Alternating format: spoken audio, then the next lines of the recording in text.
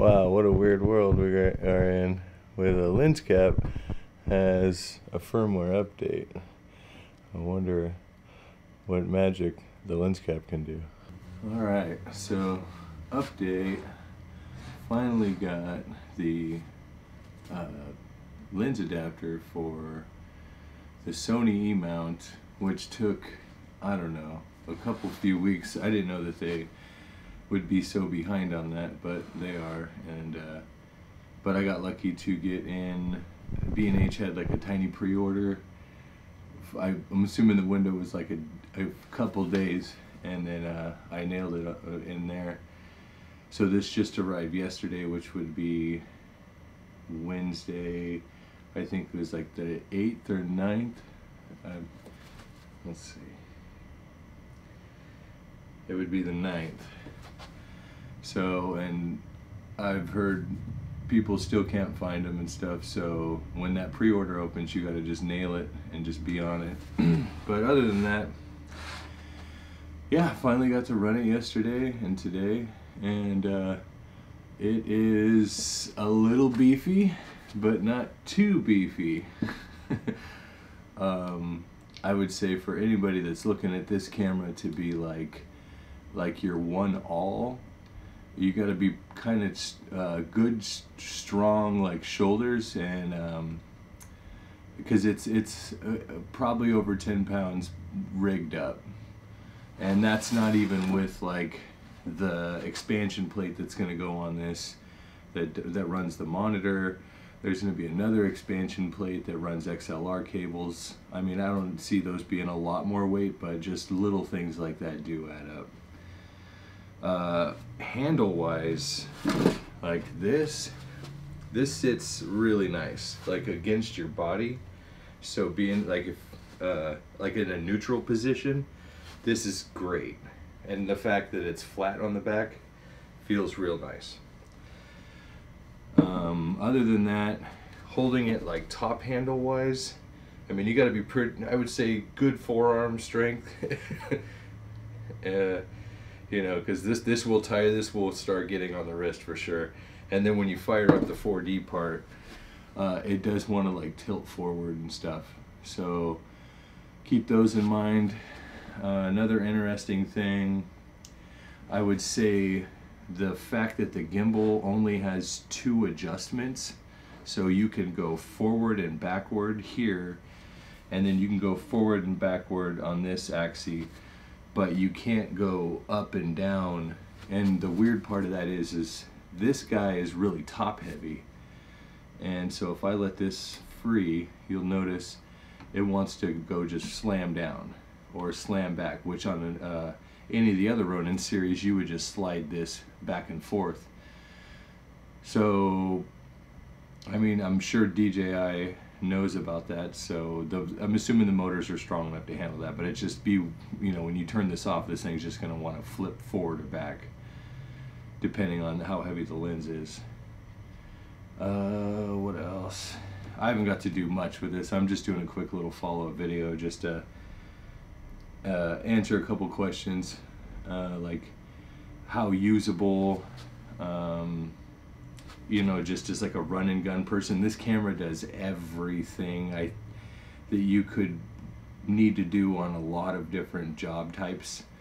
I want to integrate this into a wireless system for my live production as a roaming stage camera or some kind of roaming just because you could walk and move with this and they're claiming such a far range with the wireless but we'll see when I get to test that because I haven't even got the monitor yet um, uh, I guess I could just fire it up.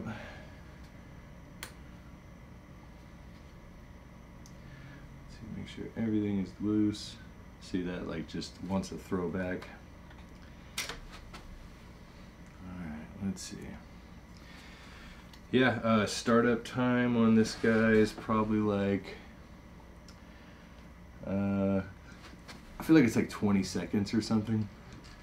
So it's got a little bit of like computing going on. It's not like immediately turns on, but it's not like a ridiculous amount of time. I don't know. I've every camera I had usually just fires up and it's, it goes. let's see, yeah, and it's ready to go. So, right now this is just in uh, just the regular gimbal mode. Something's beeping. Are you beeping? Do you not like something? That was the weirdest thing I've never heard. Okay, gimbal locked. Uh, what the fuck are you talking? Oh, my fuck up. Okay, so if you don't unlock everything, we just learned something that it just beeps at you and then you find out that you have to unlock one more. There's a lot of locking and unlocking on this thing, so get used to locking and unlocking a lot. Okay, so a little menu pops up. That was really quick, actually. So it just went to hibernate, or uh, like a sleep mode, and then the second I confirmed on the menu, you just it just wakes back up. All right, so now that we're back in, yeah, this thing feels really nice. like uh, product, uh, everything smooth that you you would need a slider or anything this thing will definitely replace that. There are a little bit of like the weight, I'd say the weight's the only thing.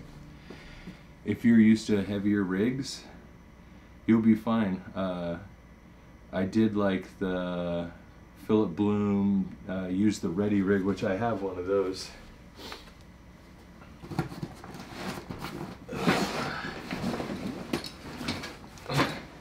This guy, this is gonna be the combo for sure. So running the rig with uh, that with the single arm that'll definitely do that'll do the trick because I, I don't know that that fishing pole over the top thing I, I have not got myself to want to do that I know it's probably like super good and useful but um, the ready rig just made more sense because I had like the big ring uh, like you know the big ass steering wheel looking uh, gimbal style for a while, and that was just too ridiculously huge. This thing is the best answer I've ever seen for trying not to be like the most big thing. If you do like events and stuff, like it's those things were just too large, and in a commercial space or like where you're, it's designed for shooting, then it's fine. This would be a little more run and gun, but it will get, uh, it will get heavy. So you gotta learn tricks with it. Um, let's see, what else can we cover? Like I said, I still gotta do some tests on this. I'm just popping this up for just a to give a little bit of content, kind of, you know, I know that there's obviously a tons of videos out there, but I wanted to follow up, and then my next one will probably be a more, maybe just B-roll side of it. Um, I do really love the follow function on this is is phenomenal. Uh, you could walk around. This would be your camera operator. This will, and you don't like like this shot right here. Like I'm stuck here. Like wherever I go, that's it. But this thing, like I almost want to. I might swap, just to show that as a test. And also, I kind of wanted to show the audio quality on this is actually it's not bad. It sounds better than any other. I don't even know where the hell the mic is on this thing, but it sounds. Uh, it's it's not bad. I wouldn't say it's the best or like you know audio like audio specific people are gonna be like it's not probably that bit good, but I would if I had to use it, I could use it. All right, so I'm gonna switch from this and we're gonna rotate actually, uh, actually, uh, uh, okay, let me restart that. Okay, so I'm gonna switch these. This is gonna go on the tripod, and then you're gonna hear the audio from the 4D, and also I'm gonna do a little bit of tracking just so you can kind of see how responsive it is. And yeah, we'll go from there. I'm definitely gonna need a beefier tripod like this than the little tiny photo one I have for the A7S III because uh, it's a really heavy camera. So, but as far as I know that uh, when you put a shoe on this, it it does get uh, like it blocks the sensors for the for the 4D part. but I guess that wouldn't matter because it's on a tripod. So other than that, I guess gimbal, other rig styles, is it's gonna make a difference. But yeah, just wanted to throw that out there. Another thing I did on accident, which I didn't know, which was funny. Uh, there's like this like lock off button uh, where it just turns off the gimbal. And when I turned it on, I was like, oh man, I must have broke it already, which is weird. But yeah, it just completely like turns the gimbal off while the camera's still on, which is probably super useful for locking it off and then putting a heavier lens on. So that's very easy. Honestly, the button configuration on this is it's genius. Every single button has a purpose, and that is like for real. Every the double click up front recenter. This guy double click turns on the 4D, turns off the 4D.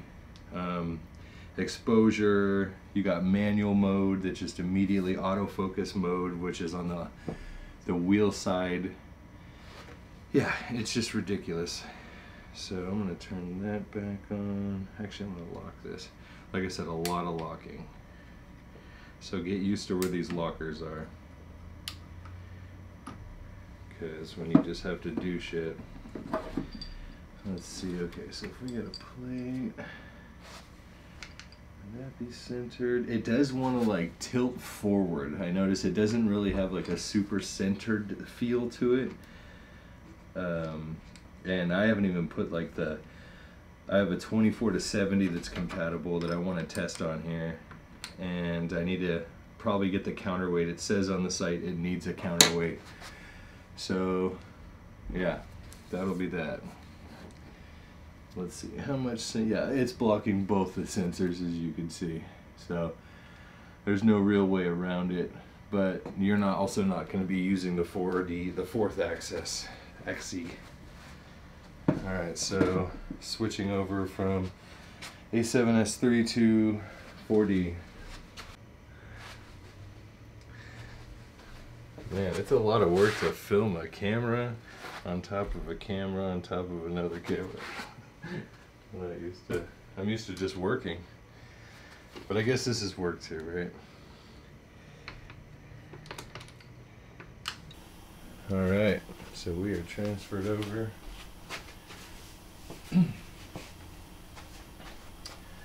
okay, so now, all right, now we are on the 4D.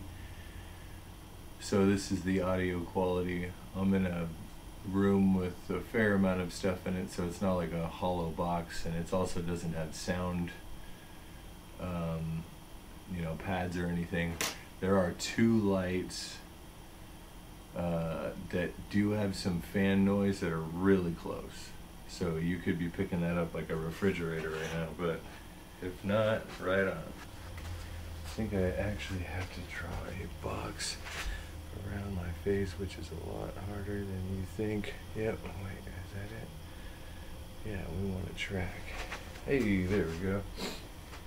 Cool, so, yeah, like I said, it's, it's following pretty decently. So what it's doing though, it looks like it's trying to keep me in like the third of the frame. It's like completely upside down and backwards for me. But like if I wanted to pick up this ready rig case, and then I was like, hey, we had to go over here and talk about something, and then now we're over here talking about something.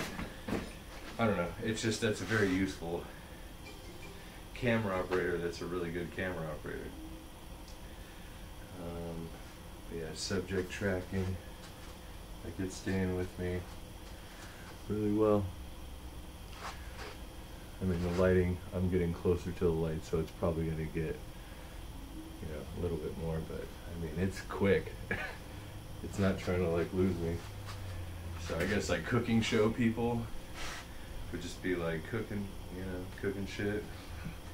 And then you could walk around and then you don't need a camera operator. but okay, so yeah, that's the tracking. I was really happy with it.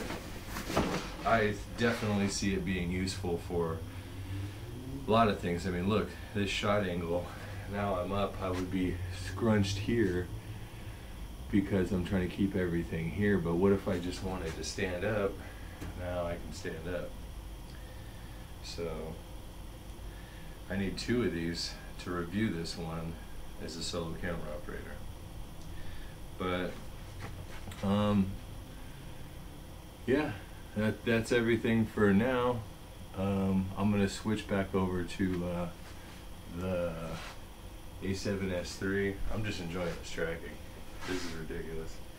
I mean, you could just sit here and just goof off with this freaking tracking because it's like, it's so good. Even though I'm in like this little tight area, the fact that I can just like go anywhere, like anywhere, and then it's like, it does a damn good job of finding me. Impressive. All right.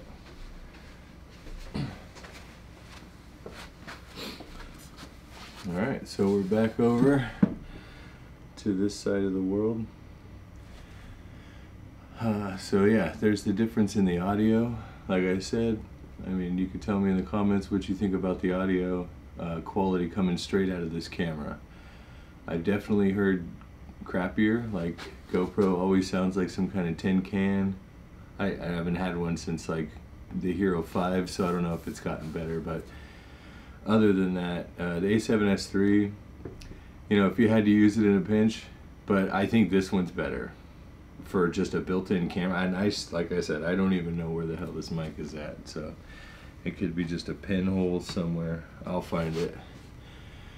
But yeah, so that's it for now. Um, I need to do a few more tests in the field, like outside, like with ND filters, kind of feeling dynamic range. Uh, you know, running around with it for longer periods of time. As of now, I could just tell that uh, it is a heavier rig, so you're gonna feel a little bit in the low back. Uh, handle placement though, because it's evenly distributed, might make a little bit of a difference because like I said, you could put it against your body. But um, yeah, oh I haven't even busted out the old four, the old, uh, where's it at? Oh, wrong one. We haven't even got to see it pop up, dude. Boom. See how it wants to drift forward, though? And it's probably freaking out because the... Actually, no, I gotta... I do have the plate underneath it, so it's still... It's still doing its job. But yeah, this thing is intense, dude. Like, this thing... like yeah, it's gonna be sick for a lot of stuff. And honestly, like the slide air motion that you get, you could like lock this thing off and then just walk and it'll stay there. And you could just hold it sideways, walk like that, and boom, you could just bang out six slider shots. Uh, but yes, it does want to curve. Like here, if I hold it sideways, this is just how the weight is just, this is all just off of one finger and that is as close as I can get to the front. So it is going to want to drift down. So if your wrist positions like that instead of like a more of a neutral, so know that that's going to do that no matter what. And if, especially when you start adding a counterweight and a, maybe a little bit bigger of a lens or even the manual motor, follow focus motor, those are all going to play a factor. Quick follow up. Yeah, so I'm not like full YouTube uh, brain when I film things. I'm uh, so used to filming other things as projects and not really used to filming myself. So I noticed I kept looking up at the monitor the whole time, which should be looking forward, but I was just too set on like, is everything staying in frame or so. If I chose to keep going this route, obviously I'd learn uh, to not look up, to look into the camera. But yeah, thanks uh, for watching and hope that was enough for now to kind of go over uh, you know what I think of the camera as of now. I still need to go do tests in the field, but um, yeah, I'm liking it. It's it's gonna be a pretty sick rig. Uh, it's heavy not too heavy, but it's it's right it's right on the cusp. So uh, thanks for watching, and uh, leave a comment below uh, what you want to see next. Uh, if you got any more questions and stuff like that, I'm always open to you know going over whatever. So uh, thanks. Have a good one.